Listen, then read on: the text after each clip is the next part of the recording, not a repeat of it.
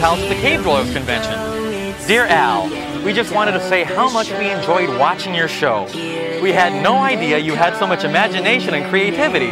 We'll be watching every week from now on.